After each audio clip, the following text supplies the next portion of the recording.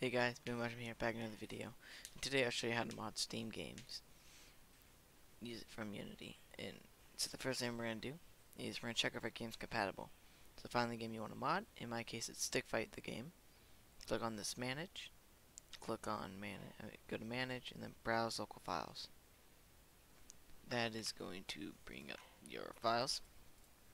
Should have the .exe in this stuff, in underscore data and then if you see like IL2 underscore CPP, uh, you cannot do it with this game, just so you know.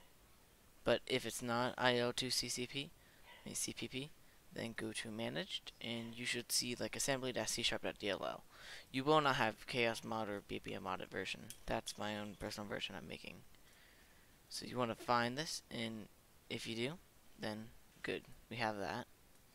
Then we can start modding. Or it's moddable then we want to go to dnspy on GitHub, link in the description. Go to latest release, and then download either 32 or 64. Unzip it, and then we will launch it.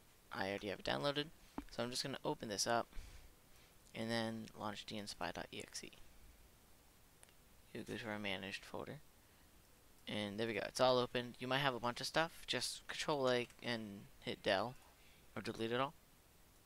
And then take your assembly.c sharp.dll drag it into there. And then now you you are ready to mod game. So we're going to go to assembly.c sharp.dll open that down open that down and then you're going to see these brackets and then a dash. Click on that and you have every single function from the game. So like we have add shake we have black hole blink for blink dagger uh, we have weapon, modify our weapons and all that. So just for this tutorial, we are going to be, let's see, we're going to uh, make snakes move really fast. So here we go, Snake AI. We're going to open this up, and you're going to see if you try editing something, it's going to bring you to something different, like the weapon. What we're going to have to do is we're going to have to edit it by hitting right click and then you're going to see edit method, class, class members, and add class. You want to click edit class. The method is only like this function right here. You want to click edit class. With the edit class open, you can now modify the code of the game. So first thing we're going to do, we're going to find our stats down here. Oh wait, right here, let's see. We have this function called set stats. Here's our movement speed. So we're going to set it something like uh, from 10 to 20 movement speed. We're going to hit compile.